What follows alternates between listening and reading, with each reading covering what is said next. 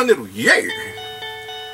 はい始まりました。武田ロックチャンネル。いや今回ですね。はいえー、まああの、えー、フェンダーマスターグレードにねうんのギターに関してまああのー、どういうものかっていうことをね解説するって言ったんですけどもここになったのはあのまあ僕のブログの方でねあのまとめたんですよ。っていうのもいっぺんまとめとかんかったらねこれあの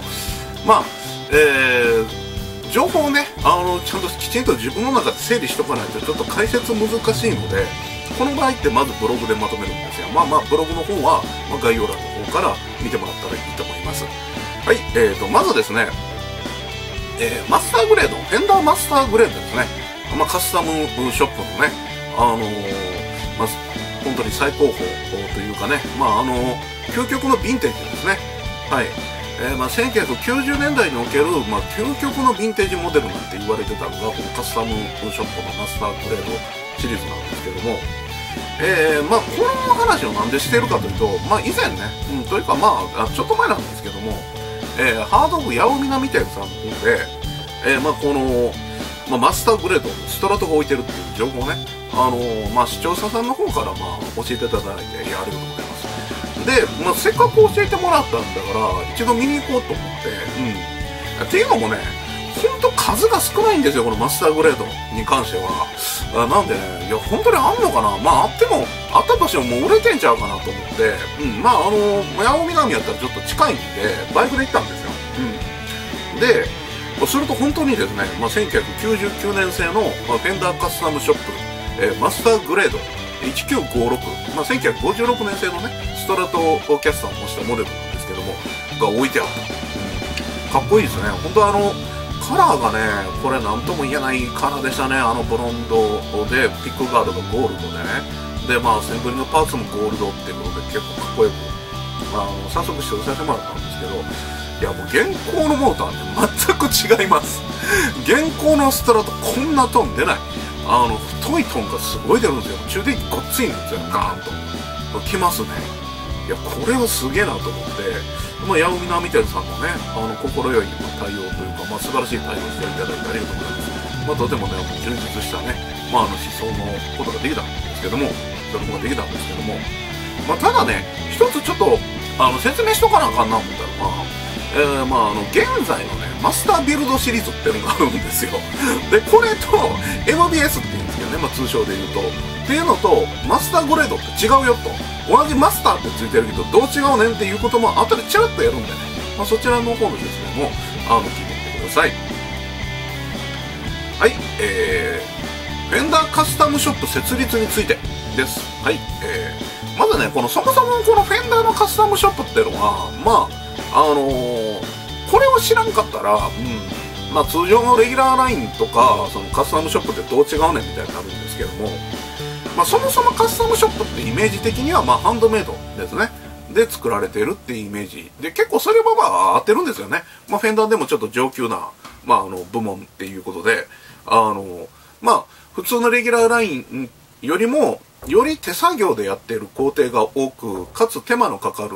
うん、まあ、あの、製造自体のね、生産自体の期間も長いという感じで、それで成功、あの、それで、えっ、ー、と、正解だと思います。でこそもそもフェンダーカスタムショップについて詳細知らんかったら、まあ、違いわからないわなっていうんで、まずは、あの、カスタムショップとはですね、まあ、カリフォルニア州にある、まあ、コロナ工場の方ですね、こちらに、えっ、ー、と、1987年から、えー、設立された部門のことですね。で、まあ、あのレギュラーラインって、うん、あのそもそもどういうのかというと、うん、まああの普通に、えー、まあスタンダードなモデルがレギュラーラインですね。あのまあ90年代以降なんかやったら特にあの分かりやすいのはそのアメリカンスタンダードとかあって、まあ、そっちがよくレギュラーラインって言われてたんですけどもえーと、80年代とかやったら、まあ、そのザ・ストラトとかそのリードシリーズとかねあのまあ、普通のテレキャスターとかを工場で生産しているのをレギュラーラインだったんですよ。で、えー、まあ、1982年から、まあ、実はあの初期型のヴィンテージシリーズっていうのがあったんですよ。で今のそのレギュラーラインの一つとして組み込まれてるヴィンテージシリーズとは一線を画すモデルでまあ、1982年頃からあの作ってたモデルなんですけどこれってねなんかあの、まあ、神田商会とかからのあのなんかオファーとかもいろいろあったらしいんですよね、まあ、そういう話もちょっとちらほら聞いてるんですけどもあの初期型のヴィンテージシリーズって、うん、あの現代のものとは価値が違うんですよ。ちゃんとしたビルダーが結構組み込んでて割とねあのー、まあハンドメイド感が結構あったらしいんですよね。あのほんまもんの最初期のモデルは。まあところがえー、まあえー、まあだんだんですね。まあその工場時代がね。うんまあもうちゃんと整理して新しく作らなあかんってことで、まあ、1985年当時の、まあ、CEO である、まあ、最高経営責任者ですね、ビル・シュルツとですね、まあ、日本のギターメーカー、富士源ですね。はい。えー、こちらの、当時はもう生産量が、まあ、世界一だったんですけども、の協力によって、新たに建造されたのが、えっ、ー、と、コロナ工場です。えっ、ー、と、プラトン工場からコロナ工場に移ったんですね。で、まあ、あの、勘のいいもう人やったらわかると思うも、そうなんですよ。このヴィンテージシリーズの、うん、初期のね、ほんま最初期のヴィンテージシリーズのビルダーを集めたのが実はカスタムショップだったんですよ。うん。なので、あの、カスタムショップの始まりっていうのは、そもそもはヴィンテージのモデルを、まあ、より忠実に再現することを目的に作ってたっていうのが、まず第一義的にあるんですよね。うん。で、まあ、今のレギュラー9って、まあ、ちょっと補足しておくんですけども、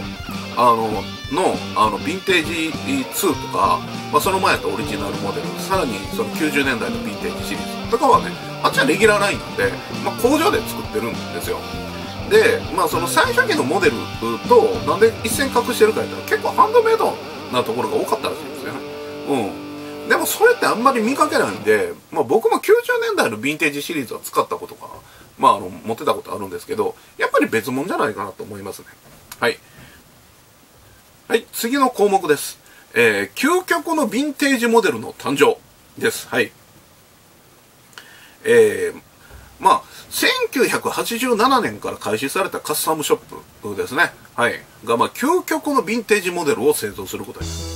まあ、あの、実はこれ、まあ、その山の楽器さんですね、日本における、まあ、フェンダーの正規代理店、まあ、当時は、当時ね、あの、90年代の当時なんかそうだったんですけども、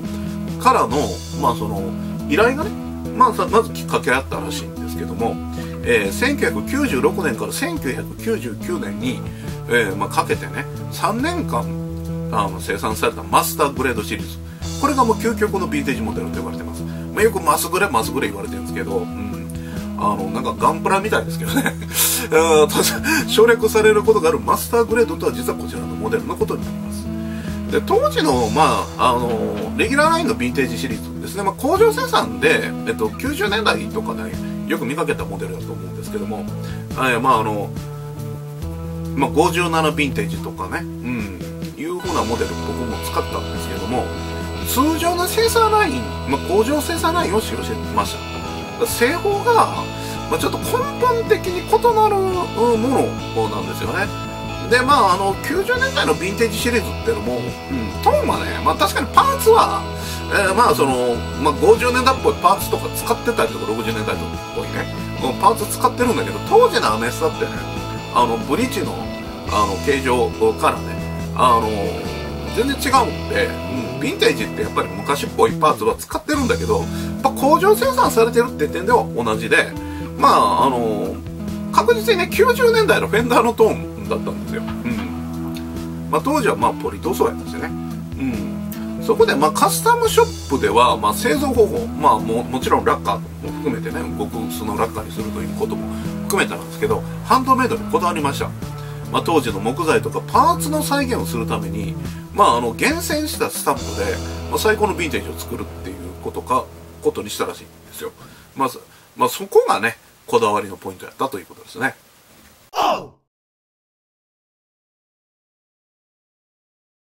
はい、えっ、ー、と、驚愕の、えー、製造方法ですね。はい、えー、この項目いきますね。えー、まあ、そもそも、えー、究極のヴィンテージモデルとは何か、うん、ということなんですけども、うん、これね、製造方法を単純に真似しただけで、真似しただけでは、うん、あかんやろっていうところまで行きました。えー、まあ、1950年代後半から、えー、フェンダーのピックアップを担当していたですね、えー、アビゲイル・イバラ女子ですね。えー、まあ、原さんなんですけども、まあ、彼女が、まあ、手巻きで、えー仕上げたものを使ってます。でまたさらに1960年代から、まあ、根っこ担当していたのがねあのハーバード・ガスラムさんですね。ハーバード・ガスラム氏までも、えー、と招聘してる。つまりもともとその50年代とか60年代に実際にフェンダーのギターを作っていた熟練工を呼んできてるんですよね。このマス・グレンダーえー、いやそこまでして再現していると。当然のように本物のヴィンテージ感、うんね出すためでしょうね、まあ、採寸とか、まあ、手作業で、まあ、キャビティをねピックアップのキャビティなんですけどこれをあの手作業で開けたと。で NC ルーター使うと、うん、まああの旋盤加工をこうコンピューター制御でやるんですけどもあの今の時代なんかでやったら、うん、それをやったら同じようにはならないからってことで手作業でやったって手ぶりですね。でまああの今の女子のその PU の製造工程なんですけどもまあここだけちょっと説明しきれるようなもんじゃないんですけど各年代ごとにあの異なる調整を施したハンドワイヤリングなんですよね。もう手巻きなんですよ。手手で巻いてます。あのほんま手巻きっこいなんですよね。ピックアップが。でさらに言うと幅とかそのまあその巻く単のねあの感じとかあのそれも個別にねあの調整してたらしいんですよ。各年代ごととか。これをヴィンテージだったらこの時代だったらこうやなみたいな。覚えてはるんですね。だからワンオフ品みたいなもんなんですよねこれね。いやもうそこだけでもすごい、うん、であの僕が聞いたんですね、まあ、1957年製をね模したストラントロートーン。あ1956年か。1956年製を、まあその模したストラトのトーンなんですけど、いやもう太いですね。もう使用、もう思想のね、あのマーシャルのね、まあちょっとトランジスタアンプから、まあ信じられへんようなトーン出たんですよ。まあこれはあの思想動画の方、まああの、えっ、と概要欄に貼り付けておいて、まあそれ聞いてみたらわかるんですけど、これただのマーシャルのね、あのトランジスタじゃ MG シリーズなんですよ。そんなんからねすごい音出てて、うんここまで後方とか、まあ、手間がねあ変わるとね同じスタラトでもね出てくると全然ちゃうな思ったんですよ、まあ、正直金あったらですねお金あったらいやもう損壊してましたね。うん50万円ボーンって出された出せた。でまあチームで、まあ、生産し、まあ、当時のスペックでここまでやるかと言わんばかりのこだわりですね、うん、まあもう正直ちょっともうあのまあ全然違いますよ本当。っていうのがマスターグレードでまああの手間がね手間と時間なんですけども、うん、あの通常のレギュラーラインの56倍らしいんですよ、うん。まあ、ぶっちゃけ今のね、うんまあ、あのタイムマシンシリーズってあるんですけどそれよりもはるかに時間かけられてる。ぶっちゃけこれだけでも、えっと、すごいギターなのが分かります。はいえーまあ、当然のように、まあ、塗装もラッカーですし、まあ、ニトロセルロースラッカーで極薄ですし若干ちょっとねあの補足すると、えーネックの部分にねちょっとグラップみたいなのが入ってたのはそれウェザーあのまあまああの要は気候変動って、まあ、よくある、まあ、あのウェザーチェックですね。あの 要はですねあのほんまもんのラッカーで薄めに仕上げてあることがこれでわかるんですよ。本当に欲しくなったんやなね。えーマスタービルドシリーズとの違いについて、えーですね、はい。えーマスタービルドシリーズっていうのは、まあ、MBS って、まあ、通常通称で書かれてるんですけど MBS ってね、うん、あの頭文字取ってカスタムショップの中でも、まあ、一流の職人である職人でも一流の一流の人ですね。の称号である、えーマスタービルダーがですね個人主体で、えーまあ、製造したギターのことですねまあ、それに対してチームで行うのがチームビルド。で分け分かれたんですよ。でマスターグレードはあのこのチームビルドの、まあ、究極ということですね。はい。でマスターグレードの後継って言われ言われてるのが、まあ、さっきちょっとあのちらっと言ったタイムマシンシリーズなんですけども、うん。まあ、こちらもチームビルドですね。はい。で、まあ、人気のあるマスタービルダー、えージョン・クルーズさんとか、まあ、ジョン・イングリッシュさんとかですね。などが作った、まあ、MBS モデルはですねまあ、普通のカスタムショップのものと違ってビルダーのね個性がすごい反映されるんですよ、まあ、例えばこうあの素材をねこういうのを好むって人見てるんですよ。あのネックで言うとまさね好きとかね、まあ、そういうビルダーさんとかいろいろ言ってたりとかしてそういう個性が反映されやすいっていうのがあります、まあ、そのため MBS モデルはですね、まあ、アーティストモデルから、まあ、何から何までまずビンデージモデルまで、まあ、仕様がね結構いろいろなものがあったりするのでこれ見るのも面白いですね。はい、えー、マスターグレードは幻のギターですね、はいえー、1990年代当時のカタログモデルとしてはですねもう最高峰だったんですよこの、えー、マスターグレードは、えー、生産する本数も、えー、まあ、限られていたということなんですよね、まあ、期間も3年しか作ってないためなかなか、まあ、見かけることがないですね。というのも市場に出回るっていうのはよっぽどのことがない限りまず出回りにくいと思いますよ。このマスグレー持ってる人って、まあ、あのチャーさんなんかそうなんですけどもあの、まあ、気に入って使っててめったにこの希少価値なも出さないでしょ。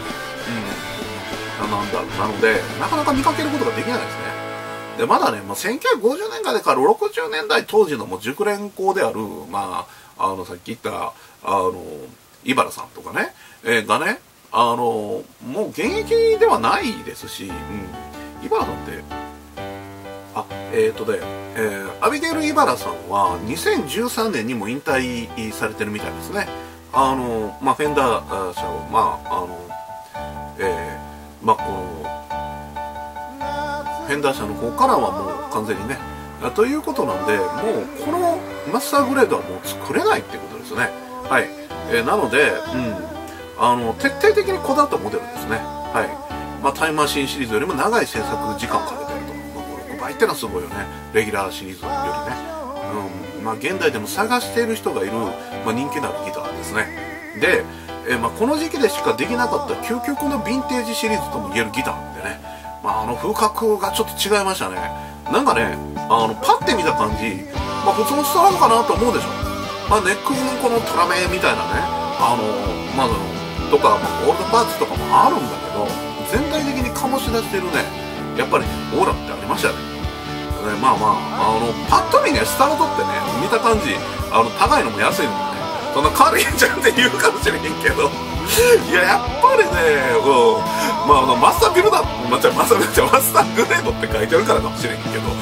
僕はすごいオーラ感じましたしトーンは全然違いました。本当に違う。まあ今回ねあのたまたまね、まあ、近所のハードオフでね、まあ、見かけたんですけども希少価値のある、本当に情報提供ありがとうございました。あのマスターグレードね、まあ、買うならちょっと50万円以上するんで正直これちょっと気軽に進めるのは難しい価格なんですけどでも昔ねこの価格で作ったこと自体が、まあ、ちょっと驚愕なんで50万円あったらパンって買うと思いますよこれ、うん。まあ、そうして気に入ったらぜひね。